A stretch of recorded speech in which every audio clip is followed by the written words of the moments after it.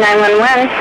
Uh, somebody they took they steal my husband. They steal something from my house, but steal my husband. They, my husband they come every day. They ma'am, come every day. ma'am. What? Do you know what time? I can go. I don't know what time, but they come every day. One day, two time, one day, three time. Okay, hold on, please. Thank you, interpreter. Yes. Okay, what's the problem there? Ờ, cái cái vấn đề là gì? Ờ, bây giờ nó ém ở trong lòng bây giờ trong. The lady said that her husband being black magic. Okay, wait, wait, wait. The RP or the lady says her husband is doing black magic. No, it had been black magic by somebody. Oh. And does he need the police for something? Ừ, bây giờ anh có cần cảnh sát tới làm gì không?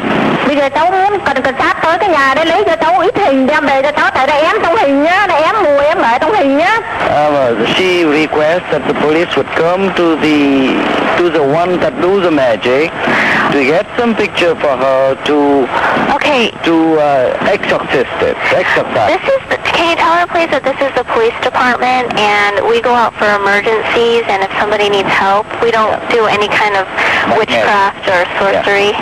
Ok, là chúng tôi là cảnh sát, chúng tôi chỉ giúp đỡ những người mà bị tai nạn hay là cầu cứu đâu chị ạ.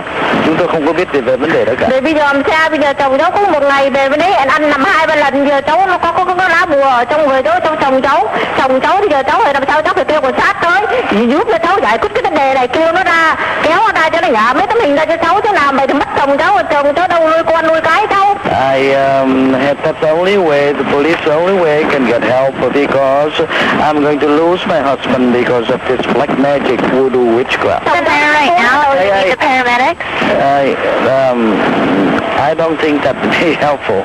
Uh, Yeah. You can ask for that. Okay, hold on sir, please. Okay. The translator? thôi để Translator? cháu nói rồi chồng cháu thì đi làm về cái nhà đấy một ngày hai ba lần Go ahead and tell her to uh, contact a priest if she'd like to, or county mental health. Okay. Uh, what police station, please? County mental health. Chắc người ta nói vậy đó. Vậy vậy cảm ơn bác nhé Dạ, không có chi thôi. chị. dạ bye bye bác Okay, bye bye. Thank you, translator. You're welcome.